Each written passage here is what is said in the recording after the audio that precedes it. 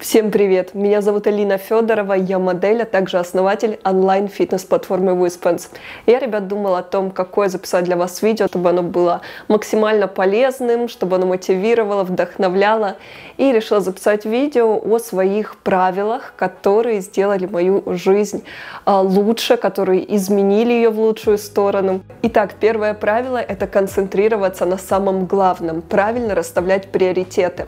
Казалось бы, вроде бы все просто и очевидно, очевидно, но не так. Например, а, для меня это очень сложно, как для человека, который, знаете, перфекционист, у которого должно быть все везде идеально, который может э, заморачиваться на каких-то вещах, на которые остальным людям вообще будет все равно. И когда ты вот так зацикливаешься на каждом этапе своей работы, что-то там делаешь и так делаешь что скрупулезно, истощаешь свой энергетический ресурс, тебе просто не хватает ни времени, ни сил потом на другие задачи. Поэтому тут очень важно определить то, что действительно есть самым главным, и концентрировать а, большую часть а, своих сил, своего времени на вот этих важных вещах. А на каких-то мелочах не стоит зацикливаться, либо вообще некоторые вещи стоит либо делегировать, либо убрать из своей жизни. Также важно помнить о законе Паретта. Я думаю, что многие из вас о нем слышали, что 20% усилий дают 80% результата. И наоборот, 80% усилий дают только 20% результата результата. Правило номер два. Окружайте себя правильными людьми. Не нужно недооценивать важность своего окружения. Скажу честно, раньше я тоже не понимала, не осознавала, насколько это важно. Я думаю, что многие из вас слышали разные поговорки на эту тему. Например, скажи мне, кто твой друг, я скажу, кто ты. Человека создает его окружение, либо ты — это средние пяти людей, с которыми ты чаще всего проводишь свое время. И действительно, эти фразы все имеют место быть. Если вы выбрали для себя путь саморазвития, если вы хотите развиваться быстрее, если вы хотите быть успешным, если вы хотите э, достичь чего-то, вы должны окружать себя такими же целеустремленными, умными людьми с правильными ценностями. Также круто, когда это люди, которые немножко вас превосходят. Что касается меня, я вам рассказывала о том, что я интроверт. Я очень редко хожу на какие-то вечеринки, не особо люблю там новые компании, знакомства. Меня это утомляет. Я такая, что, ну, не знаю, я люблю дома быть, наедине с собой, где-то на природе, чтобы все было уютно.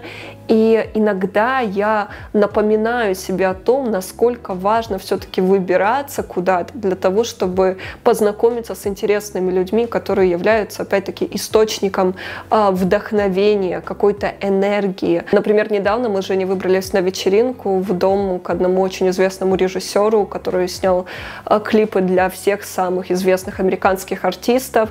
И там мы познакомились с огромным количеством разных интересных творческих людей. Я познакомилась с, с двумя актерами, там, которые снимаются в каких-то очень известных сериалах на Netflix. Я познакомилась э, с девушкой, она фотограф, она сняла все все эдиториалы, все кампейны для бренда Guess, для разных журналов. Познакомились также с оператором, который снял последние сезоны а, сериала «Очень странные дела», либо «Stranger Things». Мы как раз с Женей смотрим этот сериал, и познакомиться с оператором этого сериала, это было просто невероятно круто. И знаете, просто вот находиться в одном пространстве, в одной атмосфере с этими людьми, талантливыми, умными, креативными, успешными, которые занимаются тем, что им нравится, которые получают этого, от этого удовольствие, которые успешны в своем деле, это тебя тоже заряжает, дает какую-то энергию, мотивацию, и действительно хочется тоже что-то делать, еще больше делать, достигать успеха в своем деле. Правило номер три. Над любыми отношениями нужно работать. И это касается не только личных отношений, это касается всех отношений, то есть дружеских, приятельских. Например, у меня с этим всегда была проблема. Опять-таки, потому что я интроверт, как я вам говорила, что для меня не настолько важно ну, иметь какую-то компанию где-то, например, если я иду в кино, либо в кафе, либо на прогулку, на шопинг, я прекрасно это могу сделать одна, и мне комфортно, мне не скучно, мне хорошо, я бы сказала, очень даже. И поэтому как бы я понимаю, что некоторые знакомые, друзья могут обижаться, потому что не все ведь люди, например, такие, как я, и для них дружеские отношения, это вот когда вы прям, ну, реально вот все делаете вместе, ну, либо не все, но чаще, чем, например, нормальным есть для меня. Поэтому я решила себе взять за правило там каждую неделю писать сообщения своим друзьям, знакомым и спрашивать, как у них дела, приглашать их на чай, для того, чтобы люди чувствовали, что они важны для меня, что они цены для меня, что я хочу продолжать с ними общение, потому что я понимаю, что люди могут обижаться, и просто нужно понимать, что все люди разные, все мы по-разному воспитаны, у всех нас свой разный характер, но просто нужно прилагать, скажем, чуточку больше усилий вкладывать а, в дружеские отношения. Это тоже очень важно. Особенно это касается семейных людей. Когда вы, например, уже живете с парнем, либо с мужем, либо у вас есть дети, тем более, то часто люди тоже как бы перестают работать над своими дружескими отношениями. Просто нужно понимать, что это неправильно общаться только вот с семьей, только вот с мужем, там, с детьми. Правило номер четыре. Не переживать больше пяти минут, если это не будет вас волновать через пять лет. Должны понимать, что вся наша жизнь — это постоянно какие-то стрессы, постоянно что-то происходит, жизнь меняется, и любые изменения — это уже стресс. И если сильно придавать этому значение, у нас не хватит никакого здоровья, ни физического, ни ментального. И если мы себя сами будем разрушать, кому мы этим поможем? Как это поможет нам решить наши проблемы? Да никак, мы только усугубим эту ситуацию. Поэтому в такие моменты нужно включать свое рациональное мышление мышления включать инстинкт самосохранения. Также возвращаясь к правилу номер один, которое касалось как раз-таки приоритетов в жизни. И нужно всегда помнить о том, что приоритет номер один – это ваше здоровье. Потому что если нет здоровья, нет ничего. Вы не можете помогать другим людям, вы не можете решать ни свои проблемы, ни чужие проблемы. Вы не можете ни созидать, ни создавать, ни приносить пользу этому миру, ни радоваться жизни, ничего делать, если у вас нет вашего здоровья. Поэтому в первую очередь ваше правило номер один, ваш приоритет в жизни – это позаботиться о себе, о своем здоровье. Поэтому, ребята, я хочу вам еще раз напомнить о нашем новом продукте на платформе Wispens. Это марафон душевного равновесия, который мы создали совместно с психологом, как раз-таки для того, чтобы люди научились правильно реагировать на стресс. Что бы с вами ни происходило, какие бы обстоятельства не были, вы научитесь быть в состоянии душевного равновесия. Итак, что вас ждет в марафоне? 9 психологических практик, 18 лекций от психолога, воркбук с домашним заданием и статьями от психолога, дыхательные и телесные практики, дополнительная лекция от нутрициолога.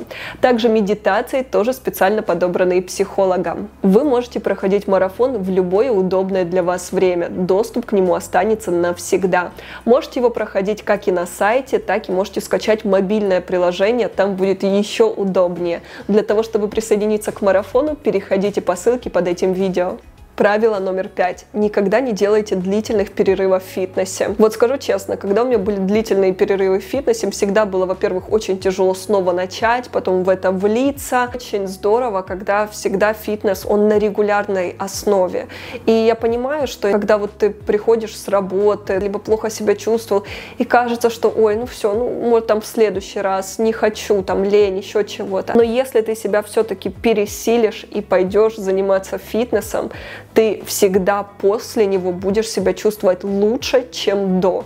У меня это всегда так работает. Даже какая бы я уставшая ни была, я позанимаюсь, и я такая, вау, класс, у меня прилив сил, прилив бодрости, улучшается настроение, повышается самооценка, я сама себя хвалю, ой, какая крутая, продуктивная, вот я там работала, чем-то занималась, но я все-таки занялась фитнесом. Когда я создавала свою онлайн-фитнес-платформу Wispens, я ее делала такой, чтобы чтобы там было комфортно заниматься людям разных уровней э, физической подготовки. То есть она подходит как и для новичков, для людей, которые никогда не занимались фитнесом, так и для людей, у которых уже есть опыт.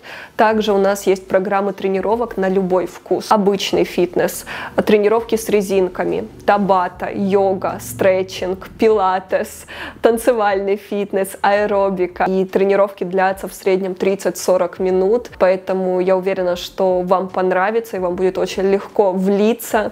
Также у нас есть рецепты правильного питания, как и обычные, так и веганское меню, вегетарианское.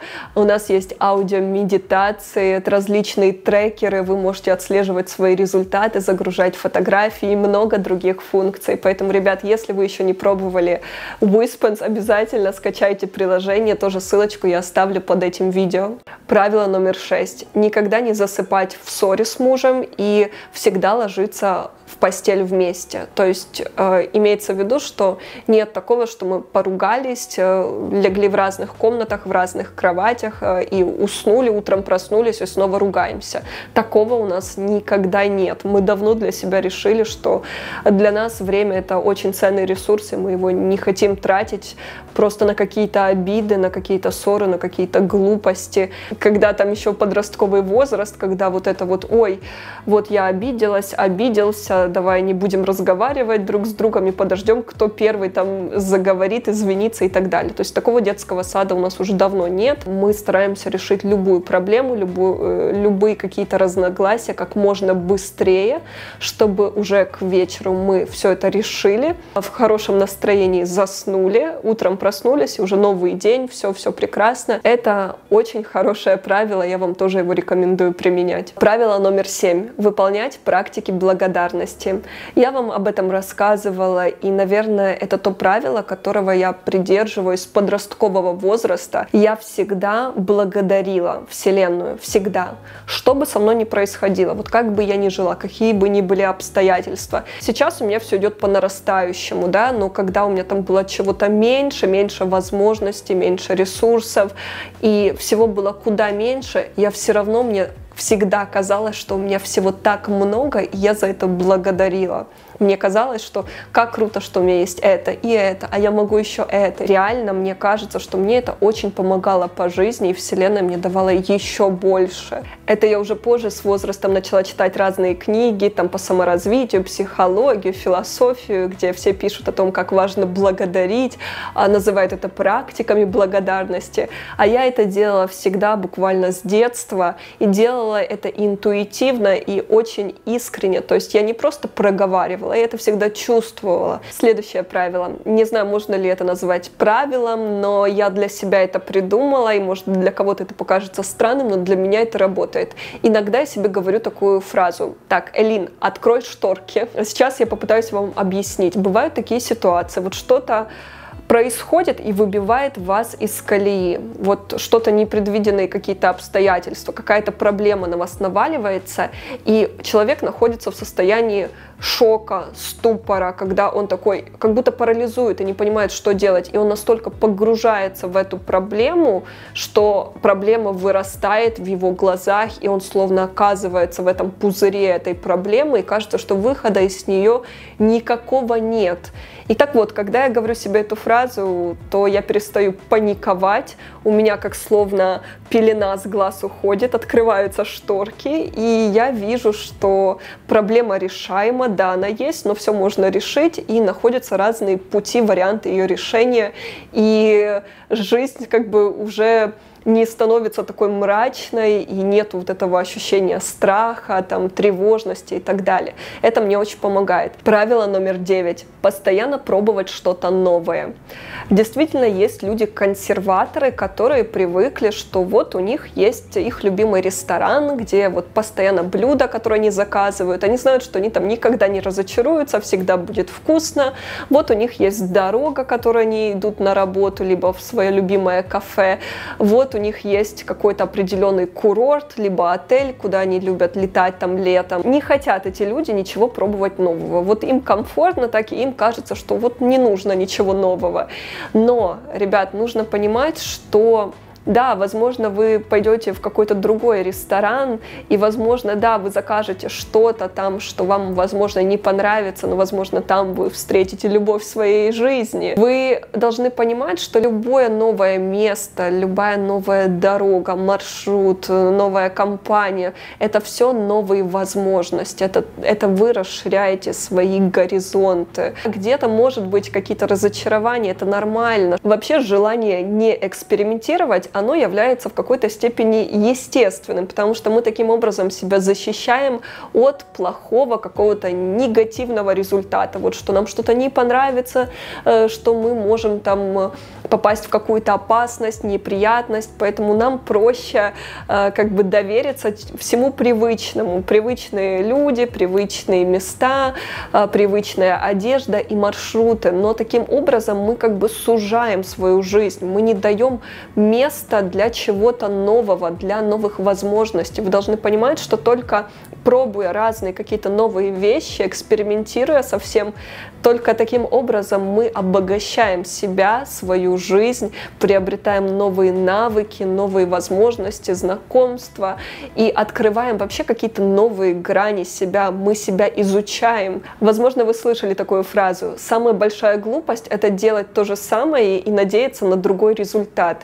Да, это касается и действий. Есть люди, которые вот застряли в своем каком-то привычном сценарии. Вот они постоянно делают одно и то же, делают какие-то одни и те же действия, предпринимают одни и те же шаги, и при этом они не, недовольны своей жизнью. Иногда людям нужно набраться храбрости, посмотреть правде в глаза и понять, что ну не работает то, что он делает, не работают его действия, что нужно перестать это делать, что, возможно, это устаревшее, что нужно это вообще откинуть. Иногда у человека просто привычка, что вот он привык идти только вправо, правую сторону. И тут нужно себя переломать и понять, что ну не работает вправо, нужно пойти влево. И последнее правило – быть более гибким. Мир меняется постоянно, беспрерывно. Мы меняемся. Нам очень важно адаптироваться под новые реалии жизни. Сейчас мир меняется еще быстрее. Мне кажется, что с развитием технологий, с тем, что сейчас происходит в мире, мы можем как-то эти изменения еще больше на себе чувствовать. И для того, чтобы быть в гармонии с собой, для того, чтобы быть э, с нормальным, э, так скажем, психологическим здоровьем, для того, чтобы чтобы чувствовать себя гармоничным, счастливым, нам очень важно быть пластичными, гибкими. Мы должны э, чувствовать себя комфортно, что бы ни происходило в мире. Мы должны, если тоже метафорически выразиться, знаете, как э, учиться маневрировать, дрейфовать на волнах, при этом, чтобы мы не захлебнулись в этом океане. Для этого мы должны быть более открытыми, мы должны понимать, что нам нужно избавляться от каких-то старых установок, старых убеждений, стереотипов, каких-то ложных вещей, навязанных обществом. А, ребят, на этом у меня все. Я очень надеюсь, что видео вам понравилось, было для вас полезным. Напишите в комментариях, какие пункты вам откликнулись больше всего. А мы с вами скоро увидимся. Пока!